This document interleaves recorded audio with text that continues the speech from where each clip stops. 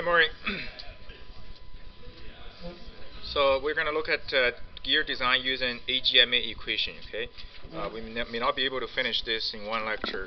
Uh, so there's lots of uh, parameters we, to deal with.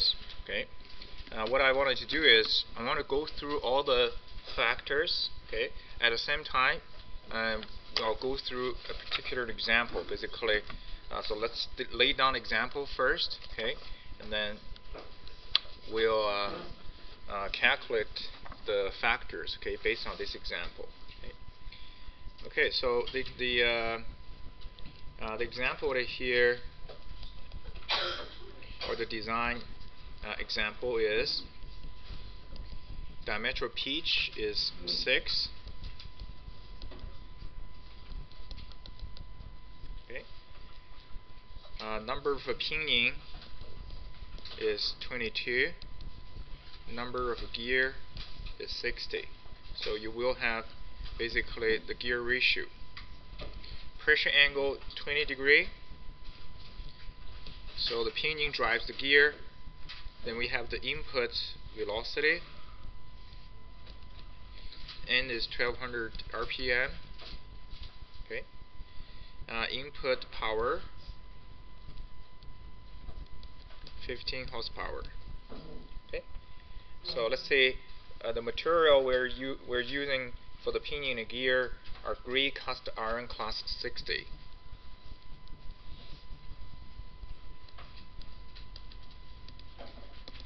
Okay, so uh, gray cast iron, okay, uh, class 40. Oh, no, yeah, 40. Okay, cast CI cast iron we are going to assume a pinion life.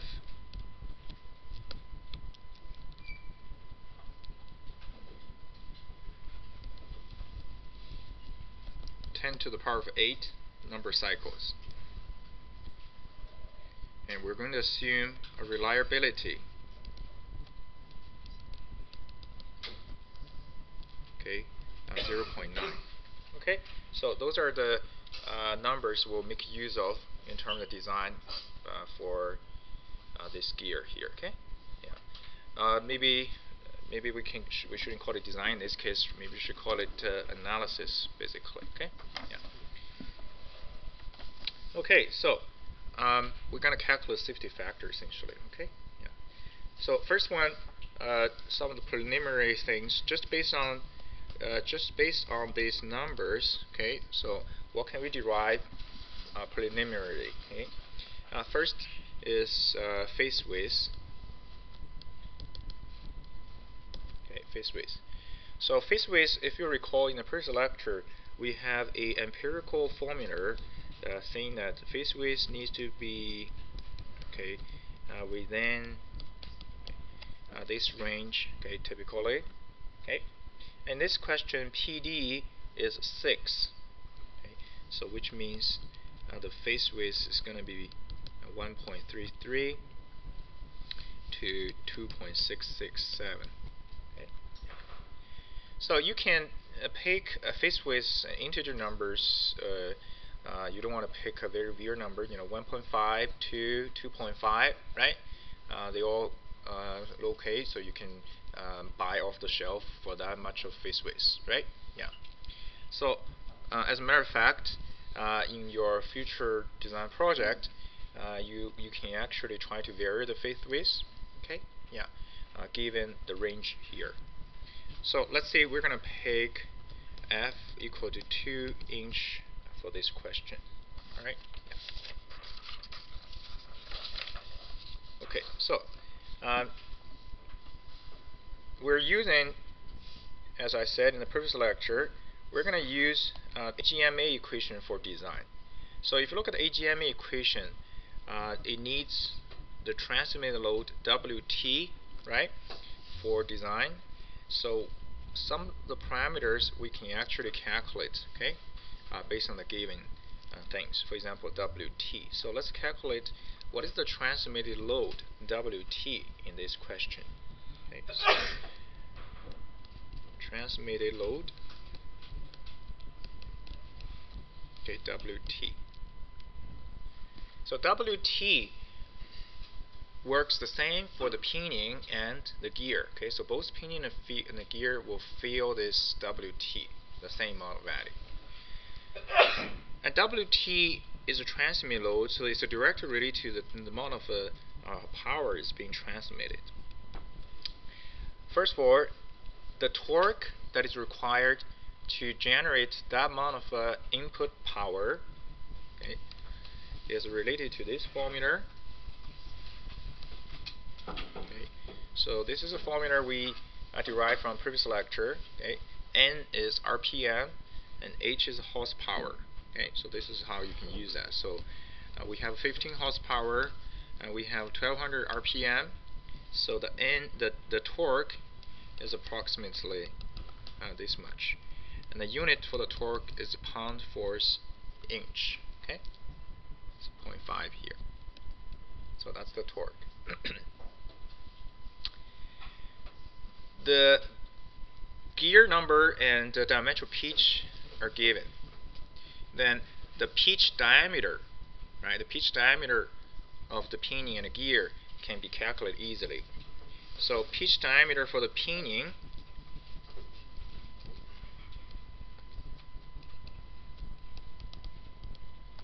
let's say we call it capital DP okay is basically the number of teeth on the pinion over uh, diametral pitch.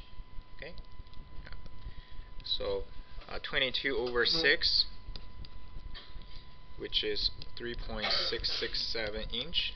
Okay, that's pitch diameter. You need this much torque, right? You need this much torque, and you have the pitch diameter. So basically, the WT time half of this pitch diameter should be the same as the amount of torque that is required.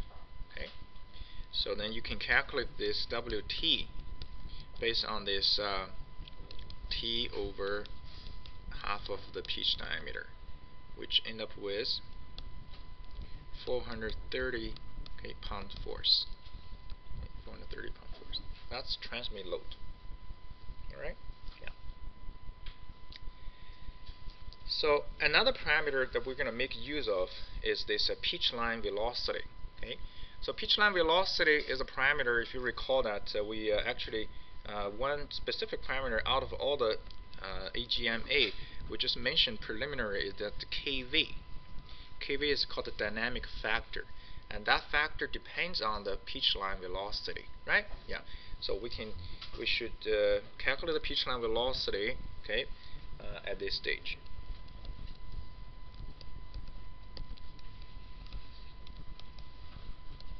Okay, let's call it V. Pitch line velocity is the velocity basically if this is a two pitch circle, right? And that's the velocity uh, at the point, pitch point. Okay, yeah. So v equal to omega times r. Okay, so angular velocity time uh, radius, and r is half of the diameter, right, of the pitch of the pitch circle and omega uh, at here uh, is uh, uh, omega at here it's, it's not directly given but it's given as a RPM right? So we we need to convert the omega to RPM so the other thing is uh, the this quantity at here is inch okay? This quantity is inch at here okay? Uh, when we convert to let's say I'll, I'll leave a bracket here for now okay? And uh, this is 1200 RPM so revolute per minute okay, okay per minute. If I convert that to radian per uh, revolute so this is basically uh, 2 pi right radian per revolute okay like this okay like this okay then the pitch line velocity the unit, what you want is actually not going to be an inch per minute. What you want is feet per minute. Okay, so important. So you need the pitch line velocity to be feet per minute okay, for uh, the rest of the calculation. So if this is the inch, I guess I need to uh, divide it by uh, 12 here. Okay, so feet per inch, one feet per inch. Okay, yeah.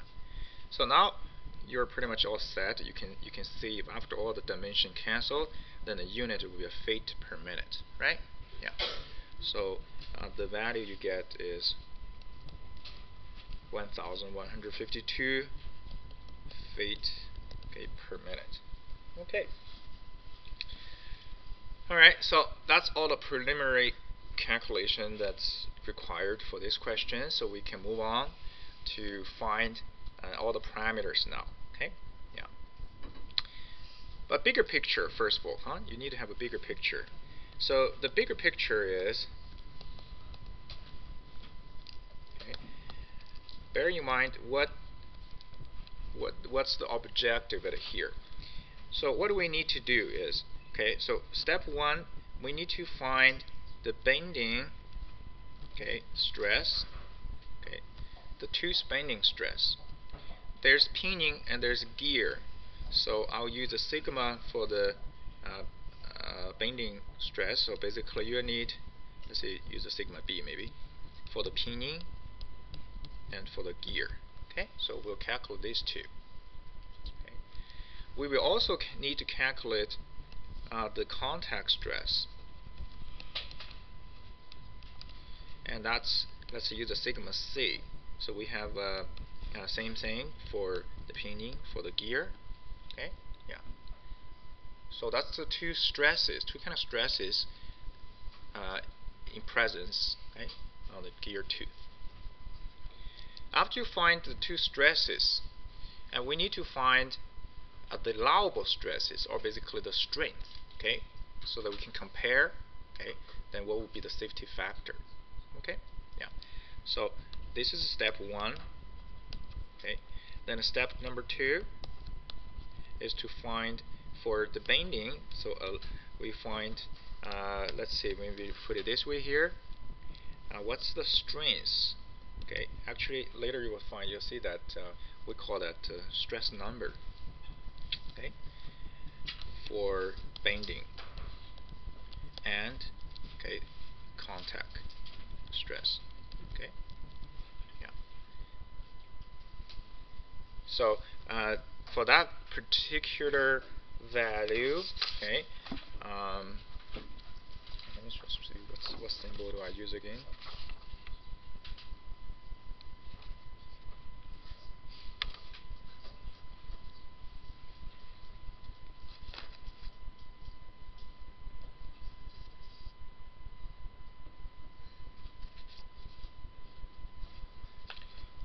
So I use a for I use st prime and then sc prime. Okay, okay for these two things set here. So once you find these two, okay, you have the strengths, you have the stress, then you use the strengths divided by the stress, then you get the safety number. Okay, yeah, that's the bigger picture. Is that okay? Yeah. So in order to uh, end up with what we want and uh, ultimately um, here is the the long lengthy equation we're going to deal with now. This is the uh, the the equation for you don't need to write this is too long here. So this is equation for bending. Okay. So we'll look at each one of them. And this is the equation for the contact stress.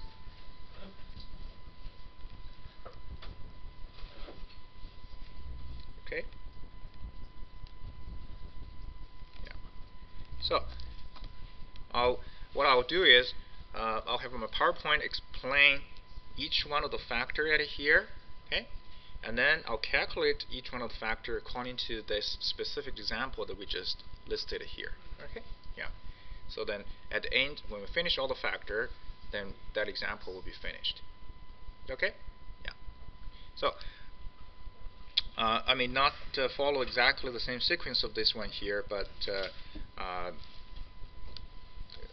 you'll see that, uh, okay? Yeah, it'll work. So first, let's deal with the KO here. KO is called overload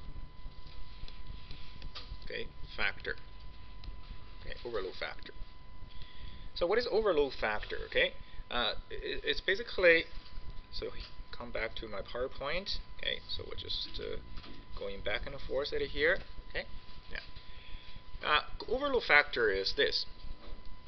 You want to maintain a uniform, basically WT, right? You know, when you when you have two gears are pushing each other, okay? you don't want that uh, action reaction force to change constantly or to vary significantly, right? You want it to be maintained as a uniform here, okay? But the reality is there are always lots of uh, uh, other reasons, disturbances or uh, a shock, right? So you don't necessarily maintain the constant value. Say, for example, you're using a, a rotary a drilling machine as you see the people doing the road work, right? So you see the constant basically shock, you know, as operator. Okay? Yeah. So that's actually pretty if there's a gear, you know, inside the machine, chances are there are, right? so you need this overload factor. Okay? Yeah. But if you're use if you're uh, doing experiment, controlled experiment, you have a DC motor drives a set of a gear. Okay? So that DC motor runs pretty smooth and the gear runs, you know, very uh, smooth too, right? Yeah, so in that case, that shock is very minimal. So how do we find a KO? You use this figure, uh, you can call the figure table, I don't remember, 14-7, okay, hopefully it didn't change in the, newest edition, to find the KO here. So here is this, the power source, right, is basically whether it's a motor or something else, and here is the dri driving machine, okay, then uh, you figure out the corresponding KO. So essentially, you have a pretty heavy sh uh, shock. Okay, if you have pretty heavy shock, you have a higher KO value, right? Yeah. So sometimes we call that service service factor, right? Yeah. So that's the KO. Uh, in this particular example, I think I just assume that both the power source and the drilling machine are uniform. So I'm gonna just pick one for this particular question uh, example. Okay? Yeah. So we're going to pick KO equal to 1 for this one here. Okay. So you need to analyze the application basically for this uh, uh, designs. For example, in the design project, you're designing a, a, gearbox for a propeller, which is used in the boat. So the propeller will uh, operate uh, under the water, right? So the water, there's going to be underwater currents. There's might be something else, maybe going to hit the fish or whatever. So there's going to be probably some kind of shock, right, at the uh, uh, output uh, driving side. Okay, yeah. But here, let's assume this one. Second one, dynamic factor, the dynamic effect factor.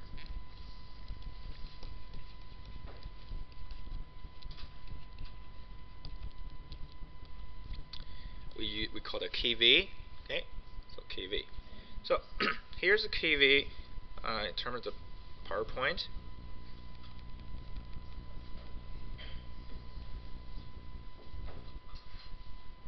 Okay. First of all, you know, what does KV compensate? Right? I think I've explained this in the previous lecture. You want to maintain a uniform angular velocity.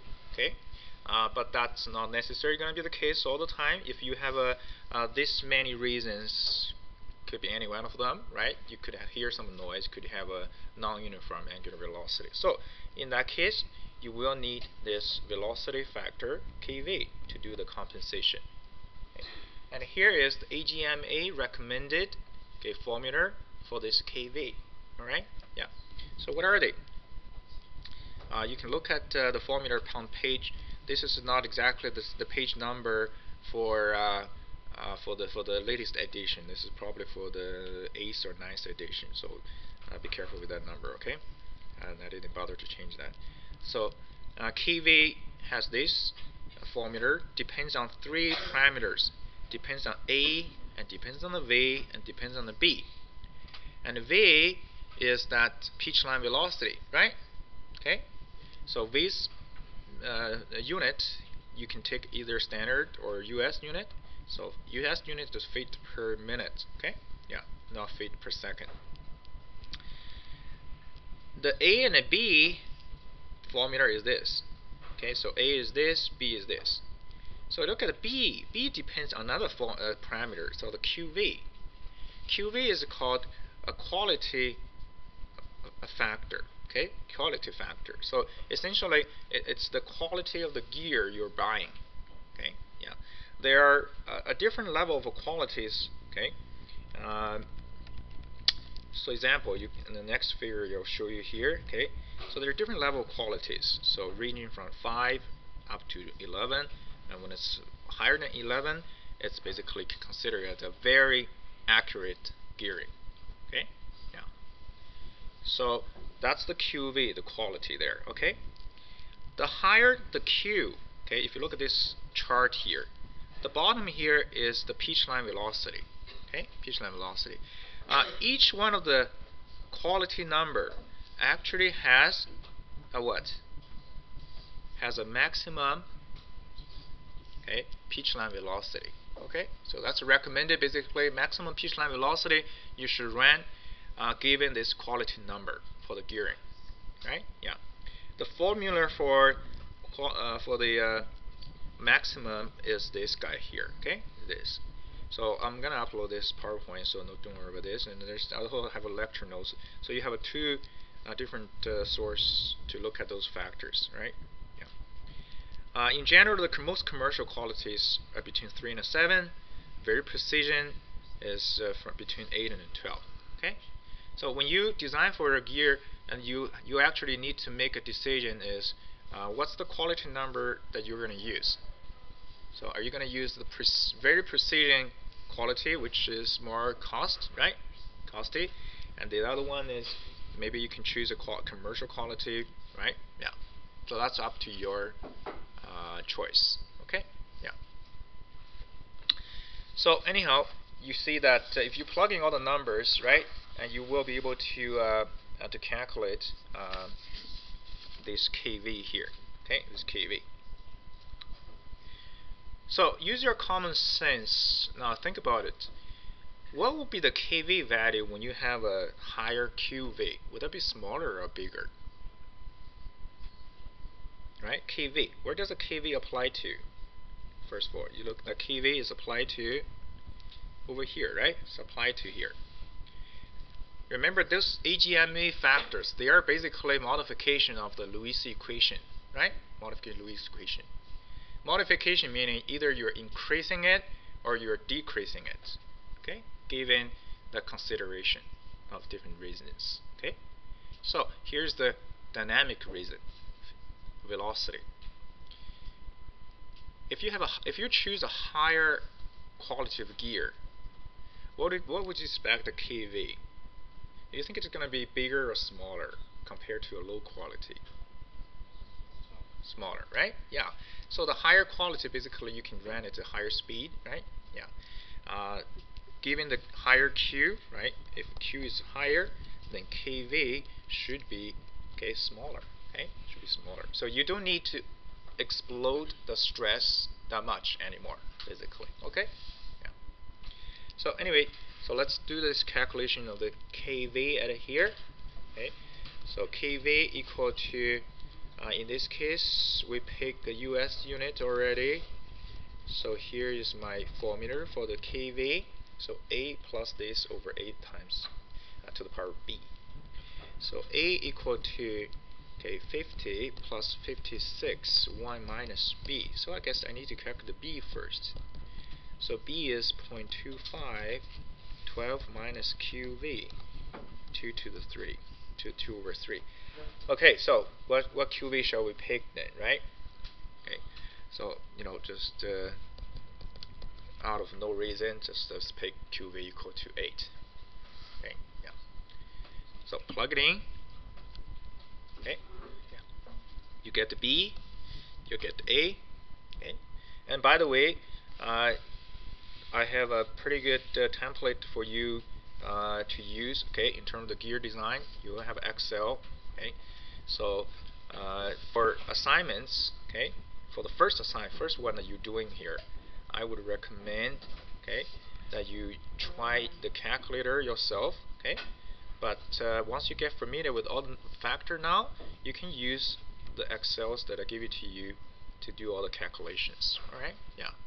So uh, basically all you need to do later is just punch in the numbers okay for the design parameters and the rest of the numbers will be calculated automatically okay? Yeah but also you need to get familiar yourself with how they are being uh, manipulated here okay? Yeah. So anyhow so we're gonna end up with KV is 1.28 okay? 1.28 that's dynamic effect factor and then size factor. Okay.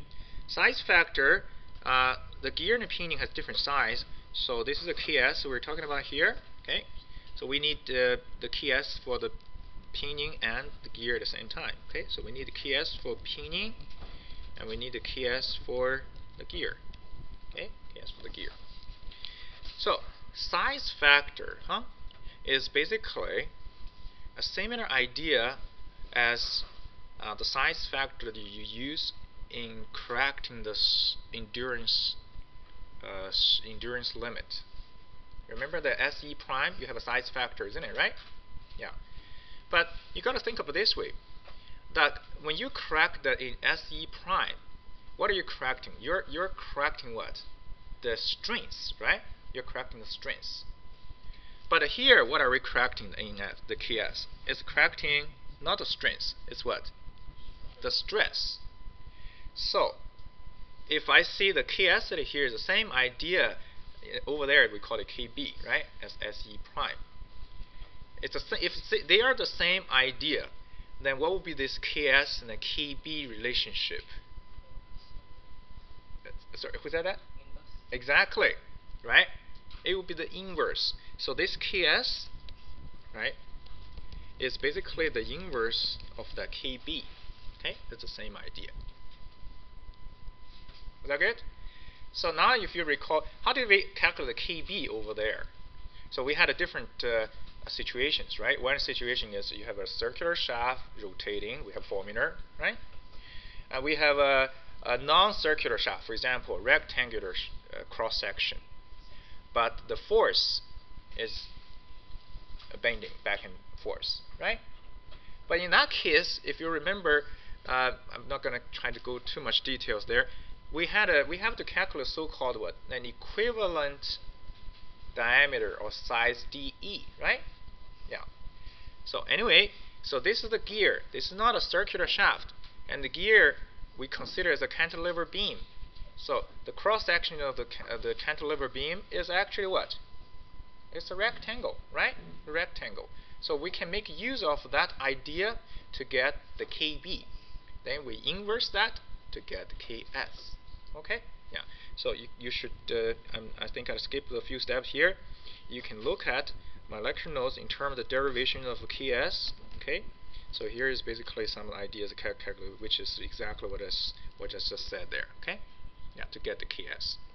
So anyhow, in the end, you'll get your KS, okay, which is this guy here, okay, which is this. So not a key, not KS, is a mistake. That should be KS. Okay, so I'm gonna write it down in here. So KS will be 1.192 okay and F Y over PD 0.0535 okay that's the formula for KS okay for KS okay, okay. Um, you look at this formula here, and apparently, uh, what does it depends on?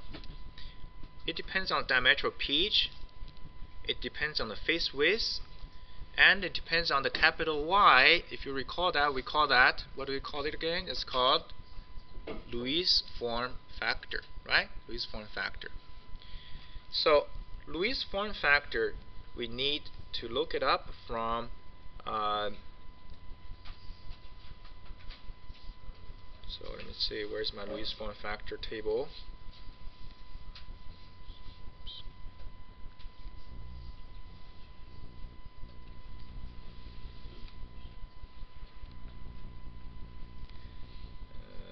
Where's my Lewis form factor? Maybe in the here, right here, here. So for table 14-2, there. So this is where you use your ex you look up so many different uh, tables, basically. Okay. Okay, so many tables here. Okay, face width and the diametral pitch.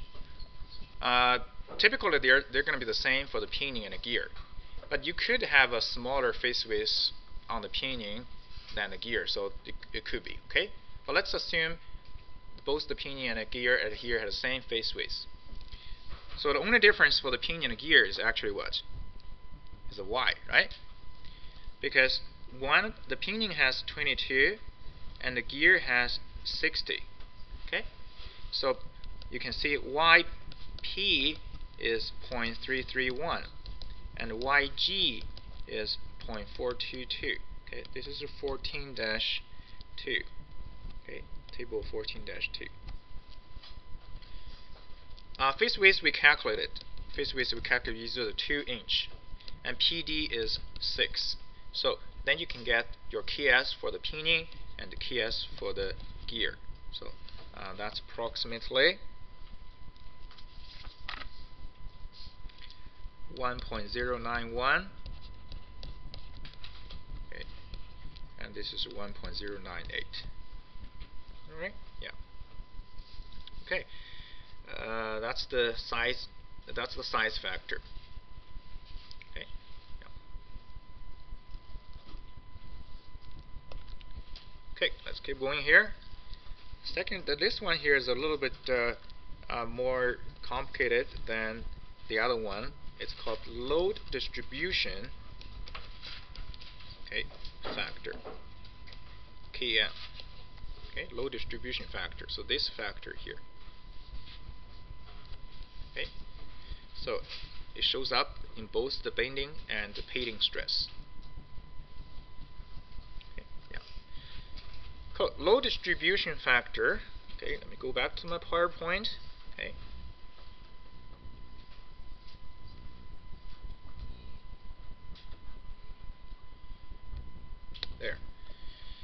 Uh, it's a similar idea like the uh, the velocity one there.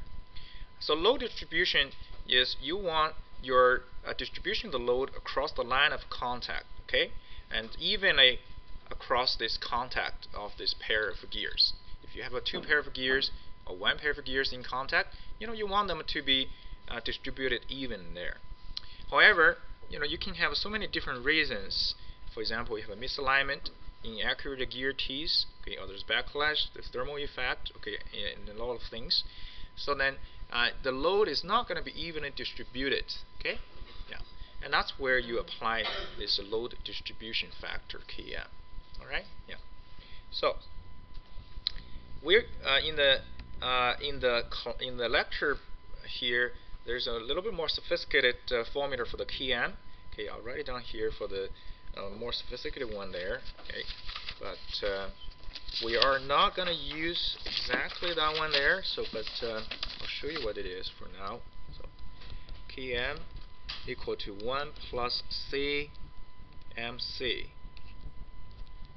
multiplied by CPF CPM plus CMA CE okay? This is the original formula for Km so what are each one of these here? So first for CMC. Okay, CMC is this uh, Courant or okay uh, sorry this is Courant okay and this is Courant so it's a gear teeth it's like your teeth basically. You know, your crown basically you put a layer of things on the teeth, right? Yeah. Uh, that's crown. That's on crown. But we're going to use this on crown here. So we basically we're going to set CMC to be one. Okay. Yeah. Like like, uh, layers that you over top? yeah. Not replacement. It's just uh, you're sort of uh, increased the thickness of the gear. Yeah. Make your teeth a little bit stronger now, right? I'm sure if you go to a dentist, you know, there's sometimes you recommend a crown, right? Yeah. No? Okay, so lucky you. So, um, CE, okay? CE is a condition, basically, uh, C.1 and 8. Uh, this thing is for gearing adjusted at assembly. Okay. And this is for other condition. So anyway, it's a pretty weak things here, but uh, you know we're going to use one for this case too. Okay, yeah. So we don't need to if we buy things, you know, we we don't want to adjust again, right? We just want to whatever it is. Okay, yeah. That's CE. Okay. And then you have a CPM. CPM also has two. One is one, 1.1. So this quantity here, okay, this quantity.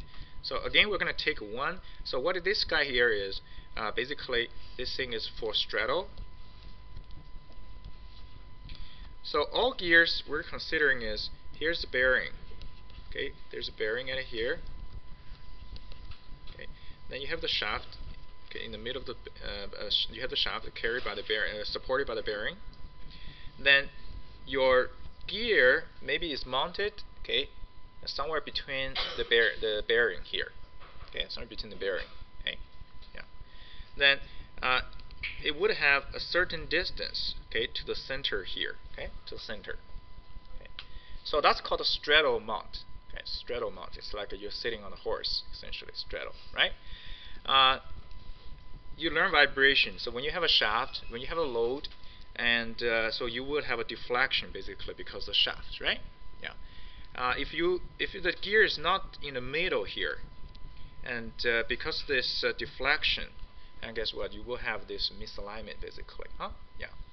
But in the middle here, uh, it, it's actually probably uh, easier because uh, the deflection, right? It's the slope is is a, is a flat, it's zero. Okay. Yeah. So that's basically the reason to adjust this because the straddle mount given the CPM here. So the one at here essentially, if they we call this is a distance s uh, s1, okay, and uh, if the total uh, distance is s here, okay, so when s1 over s is less than 0.175, you use 1. Otherwise, you use uh, 1.1. Okay. Now, anyway, to simplify the situation, let's assume basically CPM to be 1. Okay. Yeah. So now this brings us to the simplified uh, km now to the formula I listed in my PowerPoint here. So it becomes 1 plus CPF plus CMA. Okay, so this is the formula I uh, used in the uh, Excel sheet, I think. Okay. Yeah.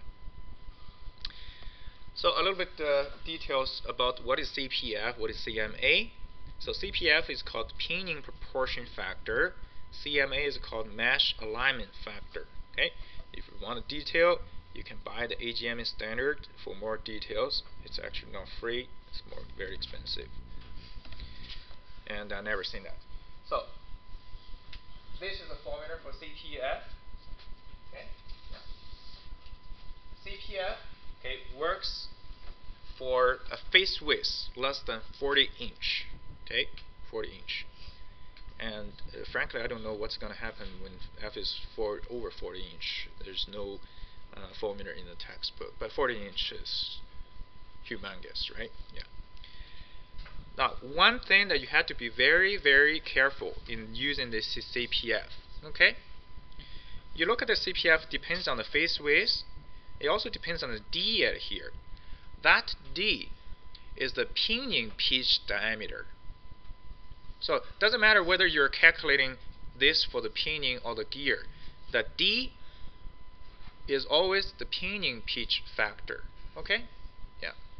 So in my formula, I have used the pinion pitch form, pinion pitch diameter, uh, pinion pitch diameter. Now, if you're curious, you say, "Oh, I'm calculating the stress for the gear now." Then I should change the D to uh, a, a gear. So, but you're wrong. Okay. So try not to change the formula. Got it? Yeah. Because every time when I when I examine the the design project, the first thing I look at is I look at did you change my formula? Okay. And every time there are always people change that. Okay. Guess what? If you change that, that's the starting point, right? This one number is wrong. Every wrong thing is wrong. Okay. Yeah. So that's the danger, right? Okay. So that's CP. Okay. CMA. this is CMA here. Okay. Uh, CMA is a second order equation a plus bf plus cf square okay f is the face width abc is from table 14-9 okay so what does abc depends on it depends on the condition of the gear open gearing commercial enclosed or precision or extra precision you know stuff like this for very detailed definition of each one of these okay you can look at my lecture notes as to what what exactly uh, would uh, qualify as the open gearing, commercial precision, or extra precision. All right, yeah. So anyhow, see this is the overall picture now for key M. Okay, so you need to calculate a couple of things in order to get the key M. So in my case here, so in this example, what do we end up with for the key M? So let's say I'm picking open gearing. Okay, open gearing for this case.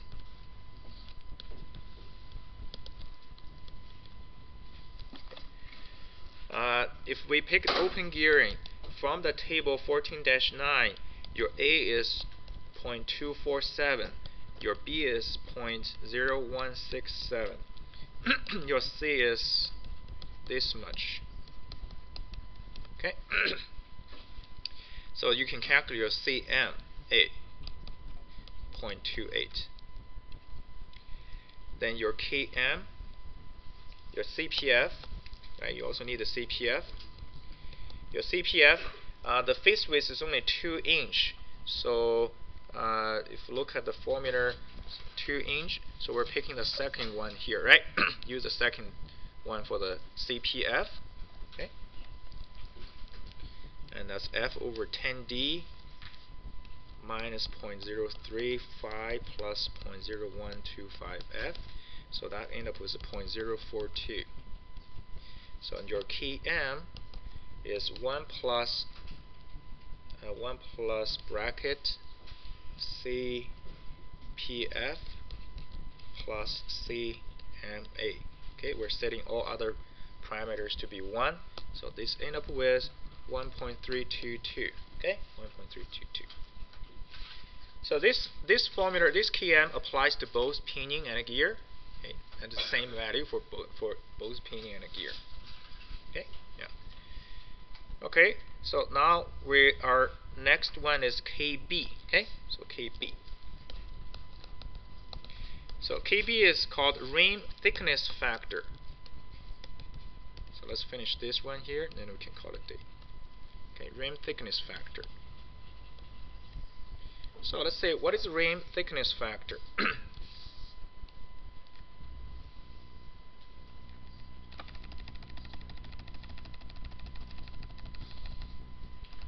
Okay, uh, it's very common that you remove certain amount of material, okay, for the gear because you want to reduce the weight, right? Yeah. So you will have a, this so-called constant rim, right? You know, uh, and it's the web at here.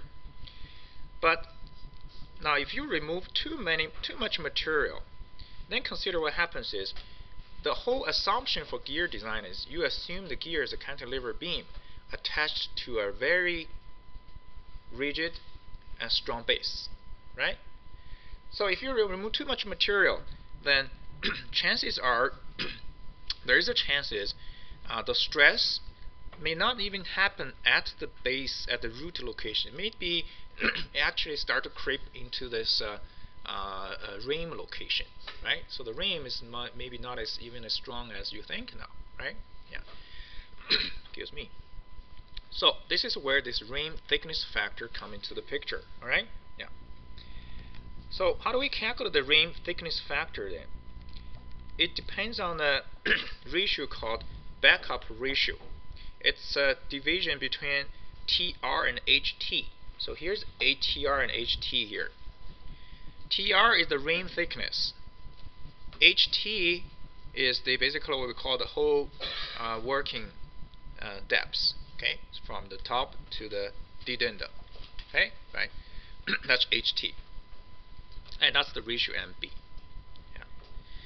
If MB is less than 0.2, you will use this formula. If MB is greater than 1.2, this ratio, you're going to use this just 1, okay, KB. So basically it's thick enough, right, compared to the uh, whole working depth, okay, then you use 1. So in this case, we're going to assume we don't have that kind of a okay problem, so we're going to use 1. Alright? Any questions? Yeah. So, I think I'll call it uh, stop it here. And we have a few more to finish. Okay. Yeah. Hopefully, can finish the next week.